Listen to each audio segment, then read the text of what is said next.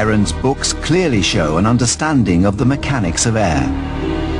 He knew the air had substance, it had volume, it was made of particles, and if you pushed it, it would have to go somewhere, and if you sucked it, it would come with you. But could Heron apply these theories to the real world? An opportunity arose when he was challenged to create a bird garden that could move and sing in the total absence of humans or birds. We have reports from visitors to the Byzantine court of numerous mechanical devices, one of which was a tree which contained metallic singing birds. The model works on the basis of water falling from one vessel to another, displacing the air and blowing a series of small water warblers which are contained within the birds. The water enters the system through the lion's mouth and drops into the bowl. From there it runs down into the next vessel below, which is a sealed container. So as the water rushes in, the air in the container is forced out along the tubes and out of the mouths of the warblers, where whistles have been placed. When that container becomes full, it then siphons suddenly into the lower container, and as that fills, the weight of that vessel actually operates the owl, which then turns to look at the birds. As that lower vessel fills up, it reaches a point almost to full and then siphons the weight then decreases dramatically because the water's going out. The vessel then rises under the influence of the counterbalance weight, turning the owl back into its original position. This makes it a kind of loop system whereby it completes one cycle and then immediately resets itself and starts again. So as long as power is being supplied, the system will cycle continuously. And really, in a sense, this makes it a, perhaps a precursor of what we would now call a robotic machine. The effect would have amazed any audience, let alone one 2,000 years ago.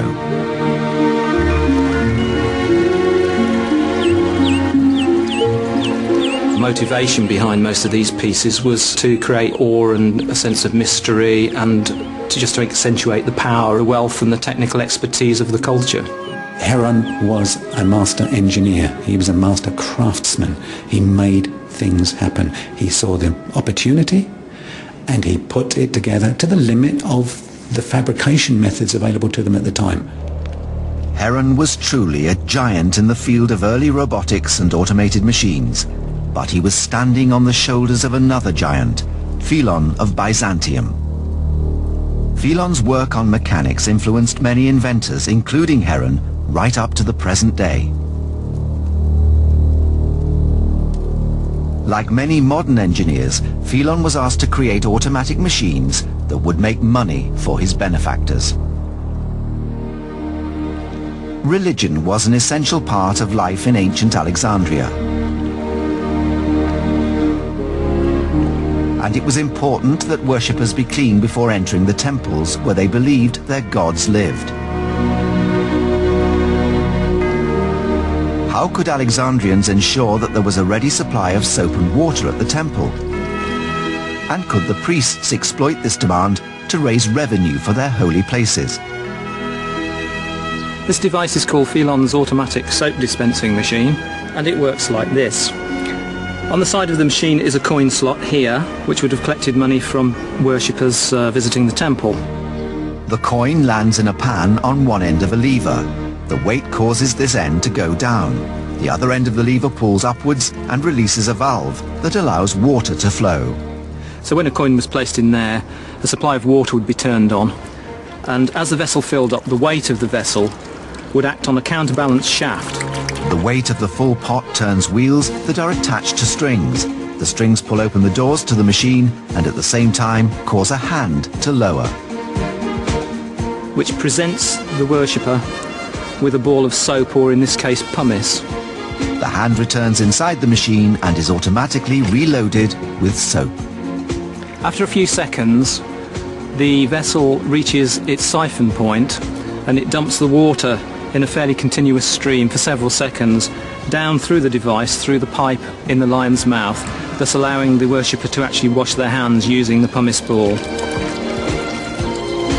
These examples of technology designed by Philon are some of the very earliest machines that we could truly call automatic.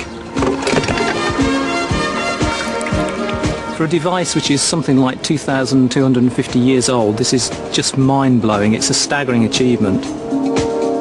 The exact same principles of this dispenser still drive many of our machines today, nearly two and a half thousand years later. One could argue that this device was the forerunner of the modern soap dispensers that you find in washrooms. Philon, Heron and others in the Alexandrian school created the world's prototype robots and automated machines. Machines that self-regulated. Machines that always did the same thing time after time. And this guarantee of continuity was much valued on the other side of the world, in China. The ancient Chinese were impressive long-distance traders, map makers and adventurers and it was important to them that they always knew which was the way home, and which was the direction of their capital, Beijing. So how did the ancient Chinese solve the problem? The answer lay in a high-tech chariot fitted with a programmable direction finder used around 2600 BC. At all times, the figure which was mounted on top of the chariot would point to the capital city, Ludo Verheyen of MTE Studios has reconstructed a full-scale model of this fascinating machine. Yeah, this project was indeed uh, quite a challenge. It was the first time that this, um, these uh, features have been reconstructed ever, and the mechanics involved was really a challenge. As Ludo rotates the device, the statue on top always points the same way, whichever way the chariot turns. But how does it work? It's a highly sophisticated geared mechanism which is very very similar to the device that we find in almost every modern car which we would now call a differential gear. The gearbox effectively is measuring the speed between two wheels. As one wheel moves faster than the other as it does when turning a corner, it alters the position of the figure which is mounted above the chariot. When the cart turns to the right, the right-hand wheel turns a cog inside the machine. This turns the central gear, which rotates the figure. Because the right-hand gear has rotated more than the left, the figure is turned more towards the left.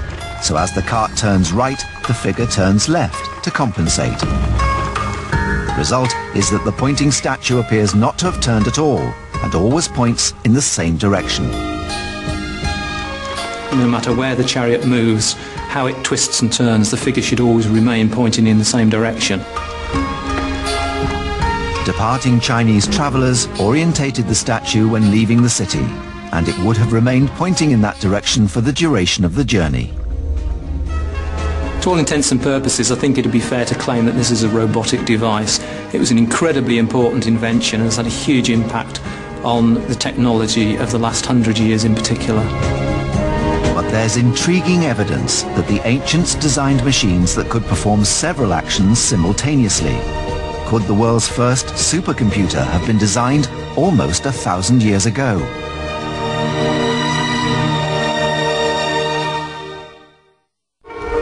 The science of robotics was surprisingly advanced in the ancient world, but how were their machines powered? If you go back 2,000 years, they didn't have batteries, they didn't have electrical outlets, and this was a real problem for them.